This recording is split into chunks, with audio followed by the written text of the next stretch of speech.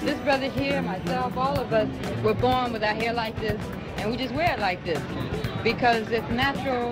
Because uh, the reason for it, you might say, is like a new awareness among black people that their own natural appearance, physical appearance, is beautiful and is pleasing to them for so many, many years, we were told that only white people were beautiful. Only straight hair, light eyes, light skin was beautiful. And so black women would try everything they could, straighten their hair, lighten their skin, to look as much like white women. This has changed because black people are aware. And white people are aware of it too because white people now want uh, natural wigs. They want wigs like this. Dig it? Isn't it beautiful? All right.